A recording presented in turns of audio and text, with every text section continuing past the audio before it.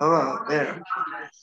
Good afternoon, everybody. Welcome back to the Faces for Autism streaming with Bob Telethon. I'm Jacob Hackett. Um, you've heard from our parents. You've heard from local uh, Miss America, Miss New Jersey contestants. You've heard from Miss Americas of years past. Now it's time to focus on a topic that's been on everyone's mind the past two, two years, education and the challenges teaching special ed during a pandemic. Uh, here to tell us more is uh, a former teacher uh, that I had at ACIT. As I just said, I left that next year will be 10 years. Ladies and gentlemen, please welcome a history teacher, uh, Gabe Staino. Thank you for being here. Uh, my first question give the viewers a little background of how you started, since you just said 25, it'll be 25 years. And, uh, since, oh yeah, since high school, 25 years. High school. Um, yeah, I haven't been uh, teaching 25. I, I, this is my 11th year at ACIT. Um, but uh, before that, I taught for a year in Pleasantville, and then I actually, um, yeah, I taught seventh grade social studies um, at Pleasant Tech Academy in Pleasantville, and then after that, I went to England for for two years. Um, East London, I, I taught uh, geography, religion, and, and history over there at a secondary school for two years, and then came back and uh, yeah, uh, you know, I did long-term subbing for a year, and then got the job here. So I, I guess total, what's that make? I don't know, 13 or 14 years. I've been, yeah, I've been yeah. Math, math, math doesn't, math doesn't count tonight. Math, math doesn't count. Uh, so you've spent 14 years uh, teaching mm. altogether. Um, what was it like teaching in England? Because it's very different from here over across the pond. Yeah, across the pond, right? Um, yeah, it's it's it's different. Um, you know, kids are kids are kids, so there are a lot of similarities. I think the differences sometimes are uh, uh, overstated a, a bit, but I mean, the setup's different. A, a, lot less students go to university over there. Um, basically, because it's it's almost it's a lot lot cheaper. Um, it's almost free. It's kind of uh, taxpayer money, but you have to get certain grades basically to get in. It's kind of like entrance exams, and so there's a lot less universities. Um, because they're you know they're not for profit over there so when it's you know it's not business there's not going to be nearly as many but and like i was coming from a very working class area um, not you know not a lot of money um, you know a bit of a tough area in, in east london uh, a very small percentage of the students where i taught end up going to university so um, uh, an overwhelming majority of the students uh, in the area where I teach, they leave school actually after what would be considered like sophomore year in high school here. So like at 16, most of them go into uh, an apprenticeship or you know a trade after that. And then those that are planning to go to university go to something they call college, which is basically like the last two years. Uh, it would be like your junior and senior year in high school here.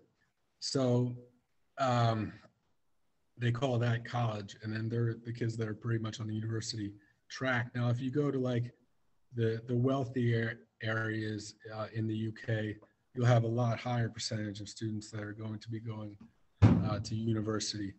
But um, you know, it's here. Uh, it's it's really unfortunate how expensive uh, tuition is for university, and you know there are too many students that that kind of go down that path when it might not be necessary and they could be making a lot of money and you know, they have talent and they've learned trades, especially at tech schools like ACIT, where they could be, uh, you know, doing a, getting started on a great career, making money right away, and uh, you know, living a secure, um, financially stable life, uh, rather than getting saddled with unbelievable debt, and then some of them, you know, not continuing and finishing anyway. It um, so I mean, there's positives and negatives about each situation. I mean, big negative is here is just how out of control tuition costs are in college. But it was definitely definitely interesting. I mean, very good teachers over there, good students. I, you know, kids and teachers are are basically the same, um, and it really depends on the area you're in, here or there. Um, kind of the setup. It's it's kind of regional, and um, so you know it varies. But uh, you know, I, I basically with all the, the differences how things are set up though uh, when you get down to it the teachers are there because they love to work with kids and they're interested in them progressing and doing well in life and achieving and, and just being happy um, and secure. And that, at the end of the day that's what everyone wants. At the end of the day uh, yeah it's great if you become some great millionaire success story but the most important thing is you, you want kids to be good people and be happy and secure. And that's, I think that's what all human beings uh, have in common that that's what everyone wants. So uh, it was a really interesting experience and kind of lost my train of thought for a second there, but uh, I'm glad I did it. But then um, also glad uh, to be where I'm at now and have spent the time with these students here at ACIT and you, especially for a couple years being one of my favorites, being a superstar and still doing great things. Um, that was a special time having you in class because not only, you know, hopefully you learned some things from me, but I learned a lot from you and so did uh, the other students in the class. And I think everyone became better, better people for it. I got to share uh, a classroom with you for the for those years?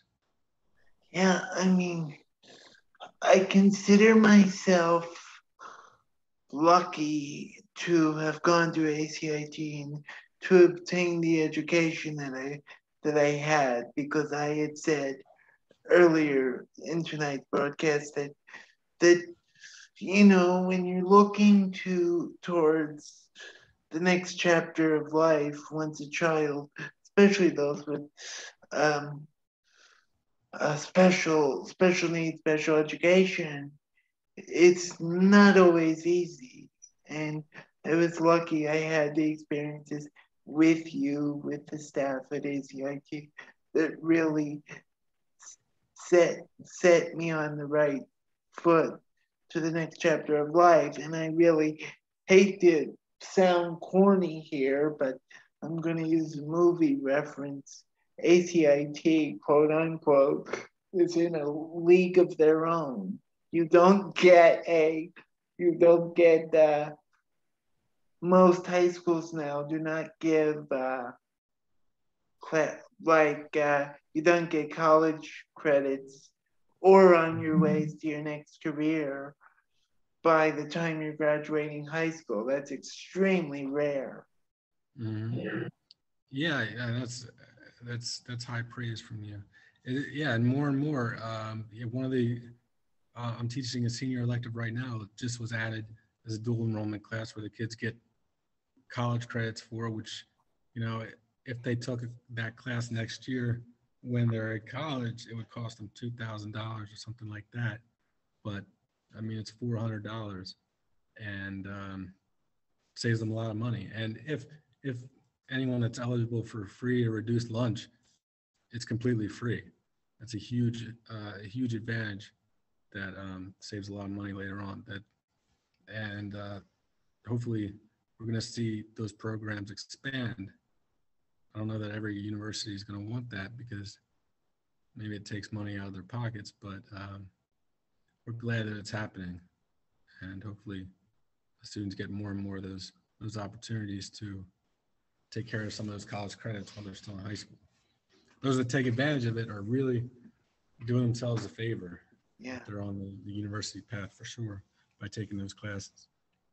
So we talked about education. What do you what are you teaching now, for example? Because you said you're teaching a senior elective in addition. Mhm. Yeah, I'm teaching uh, mostly uh, U.S. History two classes to juniors, um, but also uh, two uh, African American Studies classes, which um, to seniors. So they're small classes, and uh, it's really going well. Um, yeah, it's uh, it's eye opening, um, and a lot of the students I've had before, so we kind of already have that rapport, and uh, I've been enjoying it. Yeah, it's my first year teaching that course, and um, African American history has always been something that that um, I've dedicated a lot of time to to study and appreciate, and um, I'm glad I get to you know share some of my knowledge of it and learn from our students as well.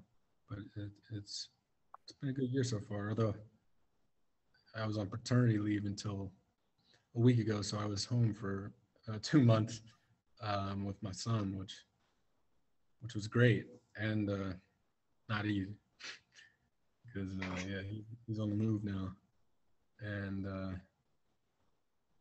yeah, I don't always have the longest attention span, so if I if I'm not paying attention every single second, something terrible could happen. But we we avoided any catastrophe, so yeah. I'm glad, I'm glad you I'm, not to get off topic, but I'm glad you avoided catastrophes at home uh, with the baby. That's a positive. Uh, if you, if, I tell you, I get laughing during these. Uh, if you could give anybody advice, any upcoming seventh, eighth, sixth, seventh, eighth graders that are thinking about attending ACIT, what would it be? Um, yeah, go just going with an open mind, really, and because I know that you know the one the one it's it's difficult leaving your your home school and leaving that comfort zone um, with you know it's not for everybody either, but I think most of the kids that come here really you know become glad or, or eventually very glad that they did. Um, whether at first you know their parents forced them to or they chose to it um it really is a nice experience. I mean overall you know you have your problems but i think the kids are are extra accepting of each other here. And i think there's less of that clickiness. And it really is. I mean it's super diverse uh which is you know closer like representation of you know our population as a whole at this school than a lot of other schools.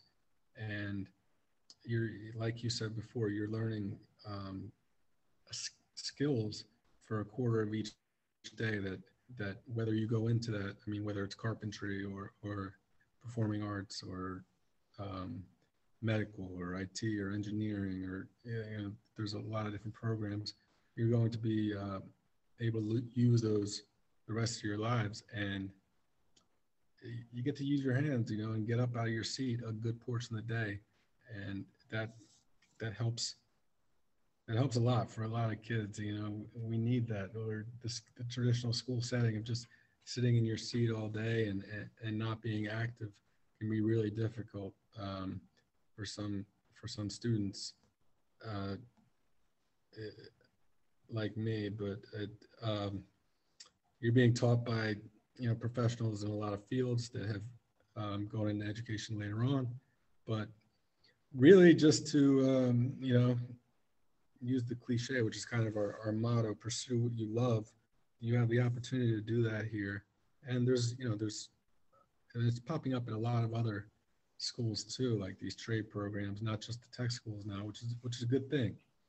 Um, you know there's obviously competition for students um, and you of course we want to make make students aware of, of of what we offer. But it's you know competition's a good thing because it it makes other other schools offer similar programs, and in the end, you know it's the competition is there naturally and it can improve things.